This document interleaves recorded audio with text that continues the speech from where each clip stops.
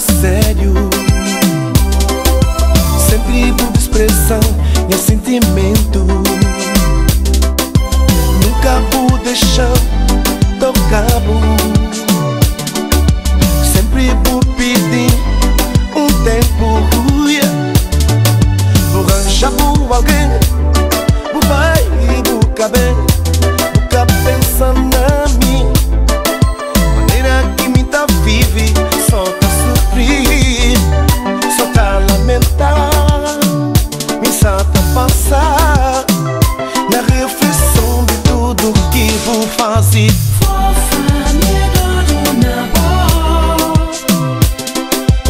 be.